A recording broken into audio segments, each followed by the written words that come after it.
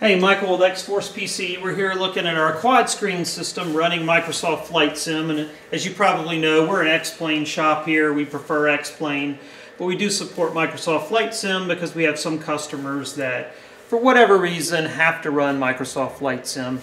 Do keep in mind I'm running the Steam edition of Microsoft Flight Sim, which costs a whole $25. So if you have a boxed copy of Microsoft Flight Sim, it may not do some of the things you're seeing here because the Steam edition of Microsoft Flight Sim has the very latest code.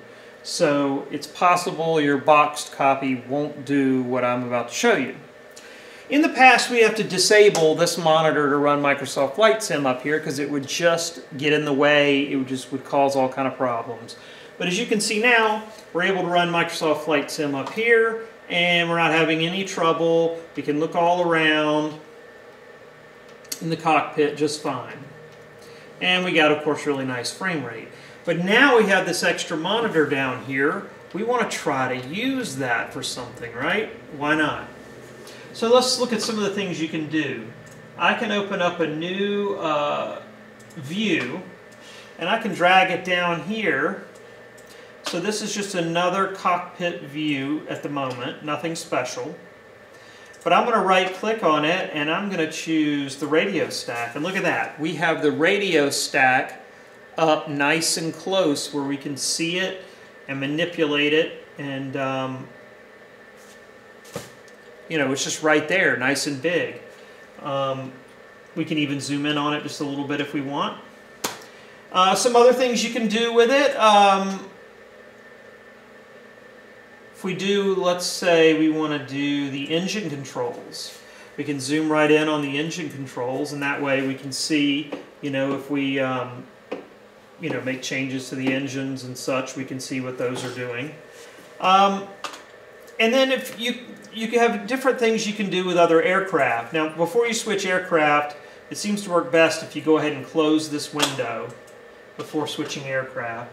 And I'm going to go and I'm going to open up um, a helicopter.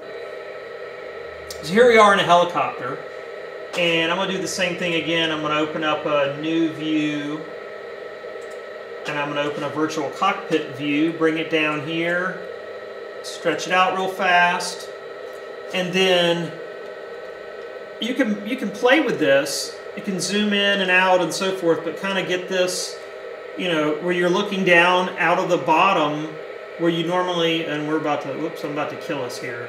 But you can see, let me pause this before we die, um, how you can see out of the bottom here where the foot footwell is, where normally you can't see that up here.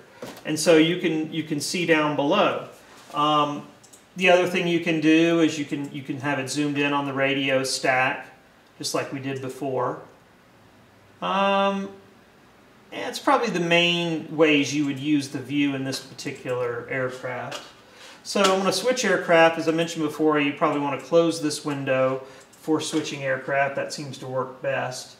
And I'm going to go um, select another aircraft. And let's select, oh, what do we want here? Let's do another helicopter, the Robinson. And as you can see, you can't really even see any of the instruments here. So view, uh, the virtual cockpit view, we'll drag that down and we'll stretch it out. And now we can do kind of whatever we want to with this. We can do the radio stack. And that way we're not having to block any of our view up here. We can have the radio stack right there. Or we can do the virtual cockpit view and we can actually angle this down a bit um, and actually, if you look on this one, you're not really able to see out of the footwell, so maybe not quite as useful, but you can see your instruments that you can't see up here. So that's how it could be useful in this plane. And let's do, uh, do one more. Close that window, and let's open another aircraft. This time, let's do the Learjet, maybe? Sure, why not? So we're in a Learjet now. I'm going to open up that view and uh, I'm going to Drag it down here. Okay. And then I can say that I want to look at the radio stack, for instance. So there's a lot of information there that you can see um, that you normally couldn't see up here. Or you could say you want to look at the engine controls. Or lastly, you could just have another cockpit view, virtual cockpit view, and you can take and just aim this um, monitor anywhere you want. You can even move your eye point over to the side a little bit if you want to kind of center this. There's a hotkey for that. I can't remember that hotkey off the top of my head, I don't believe. Yeah, I'm moving it to the left there. But um, you can see how there's a lot of flexibility in this fourth screen. So um, that's how I use the fourth screen if I was using Microsoft Flight Sim. Um, I'll do one more aircraft and probably pushing my luck here. I have not pre tried out these planes. This is one I've never opened before, so it's asking me a bunch of questions about am I sure I really want to run the software associated with this plane. Come on. Alright, so now we have this plane opened.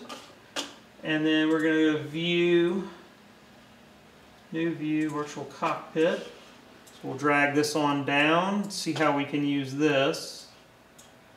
So down here we could, um, again, look at the engine controls, which we can't see up here. We could um, also look at flap and trim, which we have down here, but this is right between the seats. Uh, what other views do we have? Control panel. So there's that view. We have the right seat. That's of limited use. And then, of course, we're back to the virtual cockpit where we can take this thing and just kind of aim it wherever we want. We can also go up top and actually make, you know, show a little bit more scenery and less of the uh, instrument panel and use the instrument panel down here a little bit more. So there's yet another plane to kind of show you how you could use this fourth display. Hopefully that helps you understand how Microsoft Flight Sim can work with the quad screen system.